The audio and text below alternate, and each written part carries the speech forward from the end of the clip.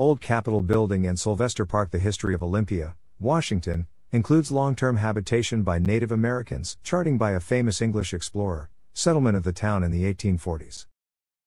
The controversial siting of a state college in the 1960s and the ongoing development of arts and culture from a variety of influences. Chief Leschi of the Nisqually. Olympia is situated at the extreme southern tip of Puget Sound on Budd Inlet. The site of Olympia was home to Lushootseed speaking peoples for thousands of years.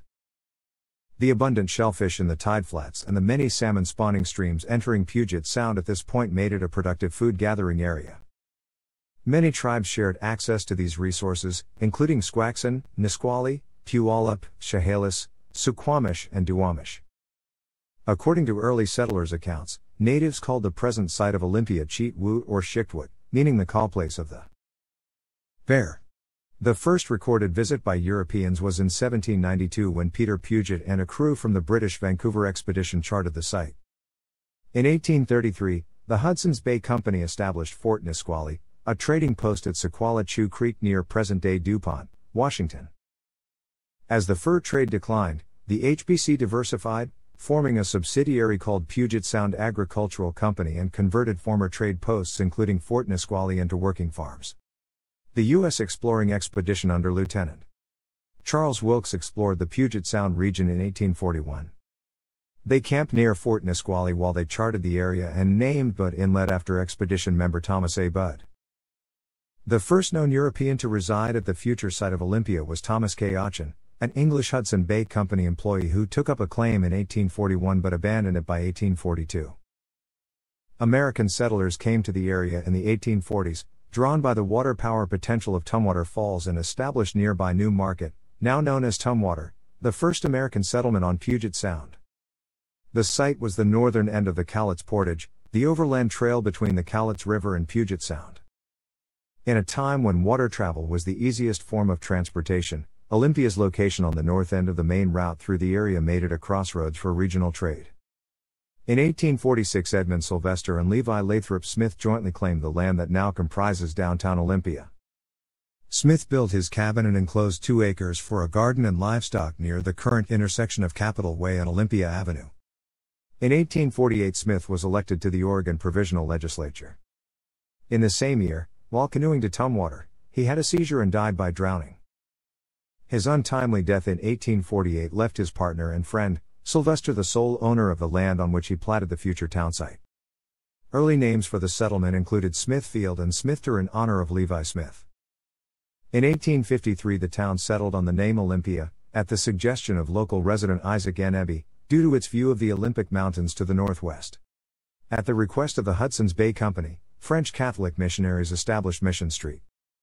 Joseph of Newmarket and school in the 1848 at Priest Point near the future townsite for the conversion of natives to Catholicism. Olympia, with the Capitol Lake, Percival Landing, and Olympic Mountains in the distance. A view from Percival Landing looking towards the Washington state capitol. In 1851, the U.S. Congress established the Customs District of Puget Sound and Olympia became the official customs port of entry requiring all ships to call at Olympia first. In 1854, the Customs House moved to Port Townsend to the entrance to Puget Sound to better monitor shipping activity. In 1852, Olympia became the county seat of the newly organized Thurston County, which at the time was still part of Oregon Territory. In about 1853, Ezra Meeker says that Olympia contained about 100 inhabitants. It had three stores, a hotel, a livery stable, a saloon, and a weekly newspaper called the Columbian, which was in its 30th publish. By the early 1850s, American settlers began agitating to separate the area north of the Columbia River from Oregon Territory.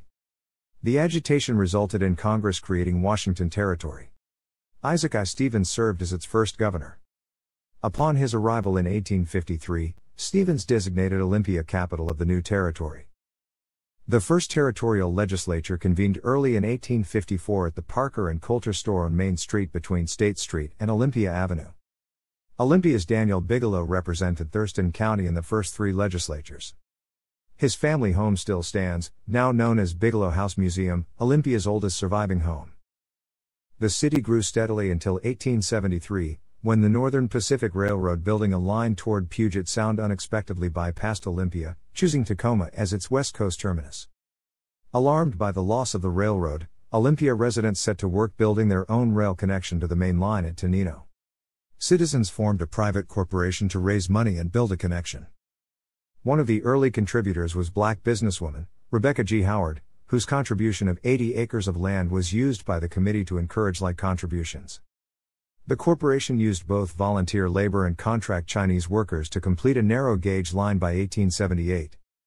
The Little Railroad served as Olympia's only railroad connection until the Northern Pacific built a spur to Olympia in 1891. After Washington achieved statehood in 1889, Olympia continued as the state's capital city. Construction of the current Washington state capitol began in 1912, with the prominent legislative building, one of the largest in the nation, completed in 1928. The building's dome is the fourth largest freestanding masonry dome in the world. Aside from its role as the seat of state government, Olympia was a fairly typical Pacific Northwest town. Early on, extraction industries such as logging and oystering were the basis of much of the economy. By the 20th century, sawmilling, fruit canning, and other industrial concerns comprised its economic base. Olympia also served as a shipping port for materials produced from the surrounding countryside, including sandstone, coal, and agricultural products. The Olympia Brewery sitting on Capitol Lake in Tumwater. Olympia is often associated with the Olympia Brewing Company, which from 1896 to 2003 brewed Olympia beer, even though the brewery was actually located in Tumwater. The Olympia Brewing Company began producing beer in 1896 at a site along the Deschutes River and continued until Prohibition. After Prohibition ended, a new brewery was erected just upstream from the original site. This brewery was eventually purchased by SABMiller and closed on July 1, 2003. Scandinavian immigrants founded two cooperative plywood mills after World War I. During World War I and World War II, there were also increased influxes of workers attracted by wartime industries, including shipbuilding. Periodic earthquakes affect the Olympia area. The 1949 earthquake damaged many historic downtown buildings beyond repair, and they were demolished. Others were retrofit with new facades to replace the damaged 19th century wood and glass storefronts. Subsequently, much of Olympia's downtown reflects mid 20th century architectural trends. Olympia also suffered significant damage from the 1965 Puget Sound and 2001 Nisqually earthquakes. It was the closest major city to the epicenter of the 2001 event. Since the 1960s, Olympia has lost much of its earlier waterfront industry, including lumber and plywood mills, shipbuilding, power pole manufacture, and other concerns. While the shipping port and log staging area remains, Olympia's waterfront area has gentrified since the 1980s. In 1967, the state legislature approved the creation of the Evergreen State College near Olympia, mostly due to the efforts of progressive Republican Governor Daniel J. Evans. Evans later served as president of the college, leaving Evergreen in 1983 when he was appointed to the United States Senate to fill the vacancy caused by Senator Henry M. Scoop Jackson's death. Because of the college's presence, Olympia has become a hub for artists and musicians. In 2003, Outside Magazine named Olympia one of the best college towns in the nation for its vibrant downtown and access to outdoor activities. Olympia is a regional center for social justice and environmental activism. Olympia was the hometown of activist Rachel Corrie. Olympia has been the site of direct action opposition to the Iraq War. Olympia hosts the state's largest annual Earth Day celebration, Procession of the Species, a community arts based festival and parade.